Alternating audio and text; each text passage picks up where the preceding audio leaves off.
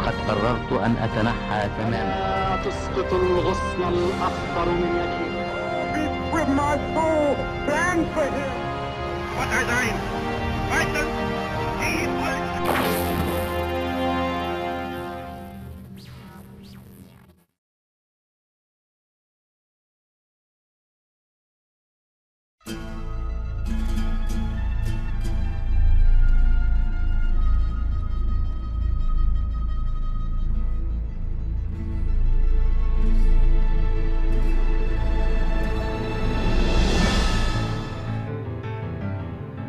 أرنستو تشي جيفارا الثائر الأرجنتيني المعروف.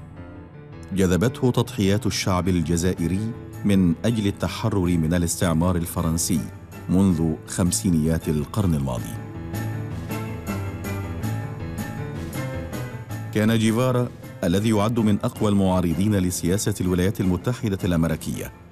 يرى أن السبيل الأفضل لمواجهة هذه السياسات وترسانتها العسكرية المرعبة هو النضال باستخدام بندقية وفكرة وقلب حر.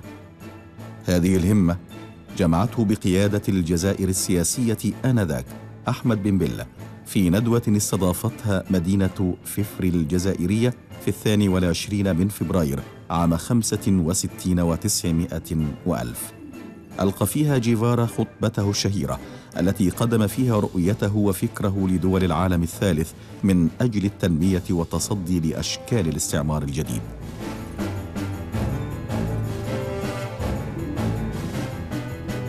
أشار جيفارا في خطابه للأرضية المشتركة بين أمريكا اللاتينية والدول الأفريقية المتحررة. وأشار جيفارا لنظرية تدوير القيمة المضافة للاستثمارات لصالح الدول الاستعمارية لا الدول النامية وفي إطار المواجهات مع الدول الاستعمارية نادى جيفارا بأنه.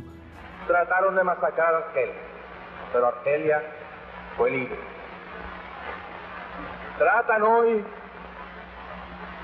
de liquidar al pueblo de Vietnam, pero el pueblo de Vietnam es más fuerte que ellos. Y el pueblo de Vietnam sigue día a día anotándose nuevas victorias sobre el imperialismo y haciéndole cobrar, cobrándole también en sangre de sus soldados la inmensa cantidad de víctimas que el imperialismo hace en el pueblo de Vietnam del Sur. Y la lucha sigue, seguirá hacia la victoria.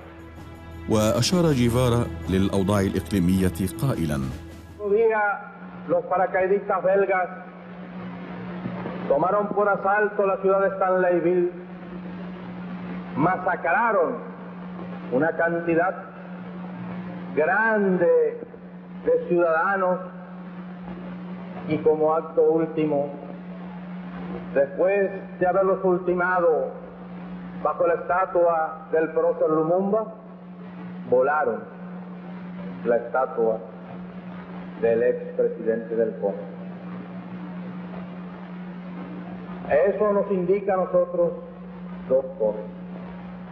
Primero, la bestialidad imperialista. Bestialidad que no tiene una frontera determinada ni pertenece a un país determinado. Bestias fueron las hordas hitleristas, como bestias son los norteamericanos hoy, como bestias son los paracaidistas belgas, como bestias fueron los imperialistas franceses en Argelia. Porque es la naturaleza del imperialismo la que bestializa a los hombres.